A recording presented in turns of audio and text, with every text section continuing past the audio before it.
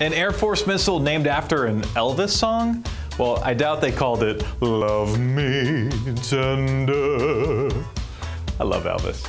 Hey, I'm Michael Callahan, and on this forgotten day in 1971, hound dog and quail were on display at Northline Mall, courtesy of the United States Air Force. Now, hound dog was a 43 foot long air to surface supersonic missile capable of destroying anything in sight, and quail was a 13 foot long decoy.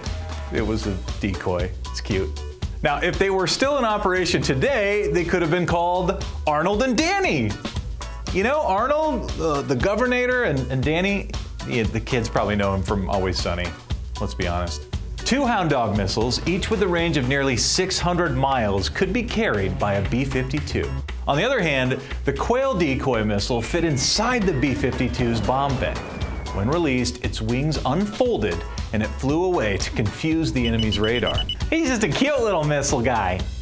He's just a cute little fake missile. All right, so when my wife goes to the mall, the Texans t-shirt she brings home for me is like the quail, and the decoy that distracts me from the hound dog, which are $300 shoes that destroy our budget and potentially our marriage. No, I'm just kidding. Did you see Hound Dog and Quail at the Northline Mall? I want to hear your story. Let me know in the comments below or tweet me, Michael Callahan at MCallahanTV, using hashtag Forgotten Day HOU, and I'll tweet you back. I love you so much, baby.